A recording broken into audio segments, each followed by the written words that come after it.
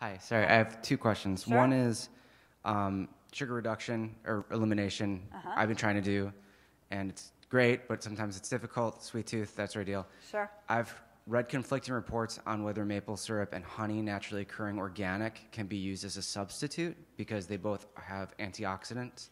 Um, but I'm wondering what your view is on that. Yeah, I would still classify uh, maple syrup and honey as a sugar, but that wouldn't mean I would say you have to uh, completely eliminate it. Okay. I think um, it's really seeing what you tolerate too, um, and in, in maybe small amounts. You know, so start with a, a teaspoon if you want a, teaspoon of your honey, or you want to try to make a sweet treat with, you know, like I'll take a recipe maybe that has maple syrup and honey and say, oh, I wonder if I could try to make this and cut cut that amount in half.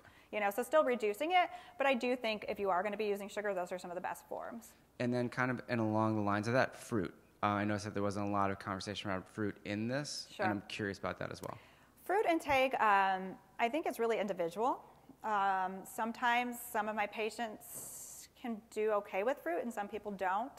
Um, I think fruit in moderation is probably what I would recommend for most people. Probably like two to four servings of fruit a day, um, and going from there. Uh, More so, I see it cause some more GI issues in some of my patients too, um, versus I wouldn't necessarily call fruit inflammatory though.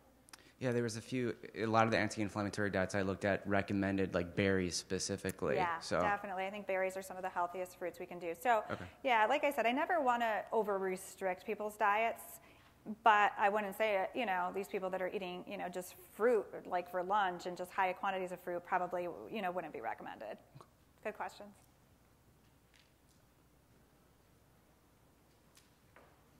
Any other questions? Sure. Hi. Um, I was wondering if you had any information just regarding moderation or elimination of either caffeine, either caffeine or alcohol, as far as inflammation. Sure, good questions. Um, so alcohol um, definitely is known to be inflammatory. I didn't include it because it's not maybe research based, but it can be, especially to the gut, gut health, and um, it can be inflammatory. So we would want to kind of watch intake of that. You know, you know, if you are drinking, we say for women no more than one drink at a time, men no more than two drinks. So, and then I think, like I said. Um, the more you clean up your diet, you're going to see how you, your body reacts individually to some of these things. And you might find, oh, you do okay, but you can do white wine, you, you do better with white wine but, or vodka, but you may not do good with beer, you know? So it's kind of learning um, that. And what was the second thing?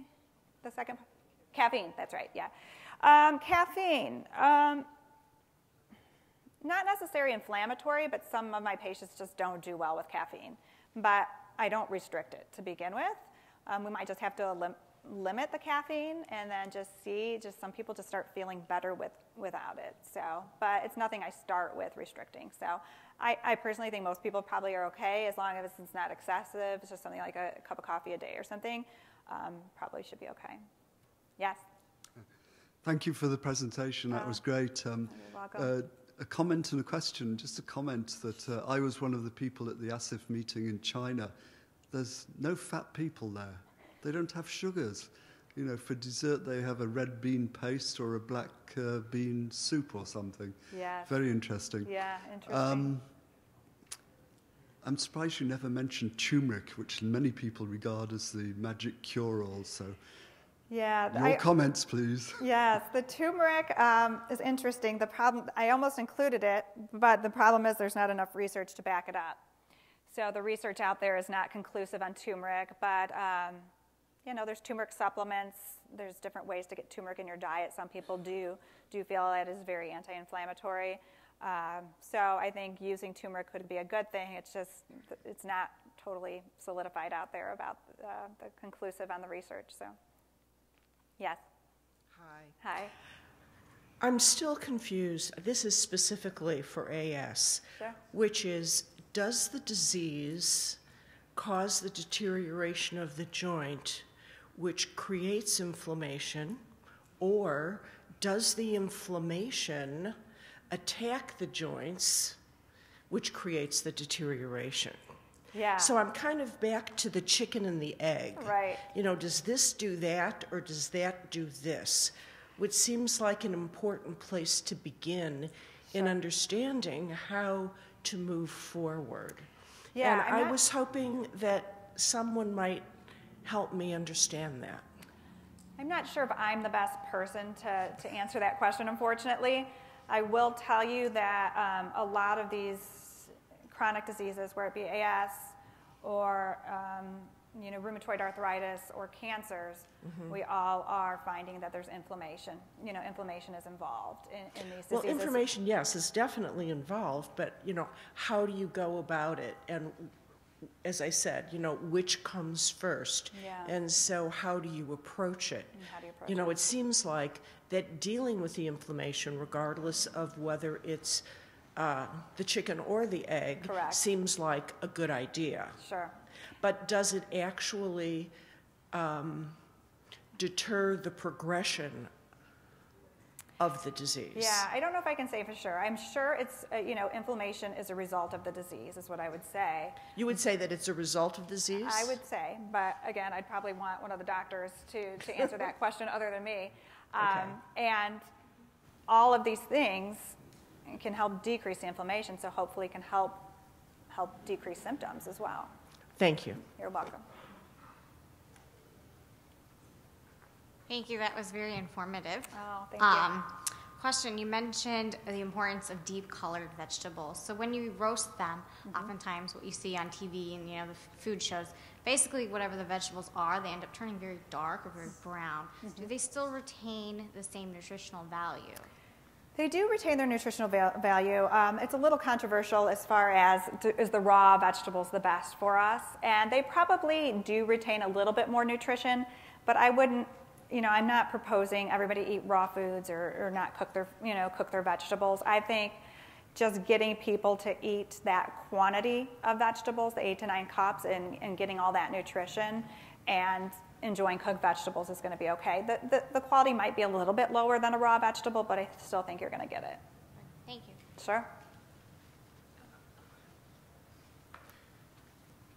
Hi. Hi. I loved your presentation. Oh, thank you. Um, my question um, was more about so a lot of these people are on um, immune suppressors. Like my husband's on Humira right now. Sure. And one thing that I really worry about this time of year is with flu season and everything, and him having an immune system that is unfortunately being a little compromised by this. Sure. Um, what you'd recommend, I mean, from a food standpoint, um, helping to protect him a little more um, in regards to immunity, because I've also read that people with autoimmune diseases may have, you know, the opposite effect to something that would normally help um, someone without an immune disease. Yeah, I think um, the vegetables that we talked about have so much nutrition. Vitamin C and zinc are really good for the immune system too. So foods high in vitamin C are going to be your citrus fruits as well as like your peppers. Um, and then there's also talk about maybe considering a supplement too that does have some vitamin C and zinc in it. Um, might be also helpful. Thank you. Sure. Hi, so we have a question from Jim on Facebook. Uh, you covered some of his question, but he wants to know a little bit more specifically on the section that you talked about omega 6, Uh-huh. uh, specifically avocados, which are heavy in omega 6, um, as well as whole grains versus processed grains. Yeah, so the, the avocados I still do recommend. And in regard to the whole grains versus processed grains, um, if you are going to eat a grain, I would definitely rather it be a whole grain. Um, so oatmeal, whole wheat, you know, those are going to be whole grains versus all the processed ones that we talked about.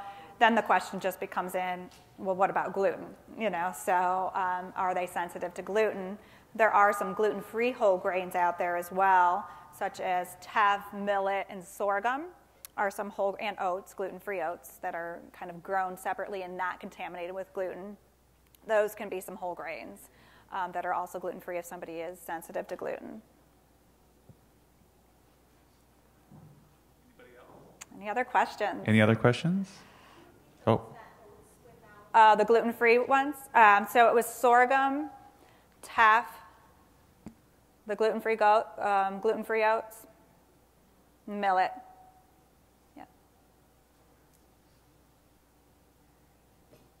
I do have a handout for you as well. Um, it's back after you fill out or after you turn in your evaluations. It's back back there, right? Um, so that uh, has just kind of summarized what I talked about today. It also does have information um, about my nutrition and wellness consulting company called uh, Revival Wellness, where I do video visits. If anybody was interested in something like that. Um, so that should be back there along with my business cards. You'll get the handout once you turn in the evaluation. So thank you all for coming. I hope you enjoyed it. We have one more oh, question. one more question. Yes, Sorry, One more question. Um, so I've done a lot of research for nutrition as well. I, I'm very excited about the implication of that in treating autoimmune. Yeah. One thing is that has come up a lot is become very, very fatty, Yeah. and I'm just very interested in what your input you have is intermittent fasting Yes. and and uh, calorie restrictive diets. Yeah. So, what role do you think that plays along with everything else you've talked about? Does it have you, whether it's anecdotal or any research based?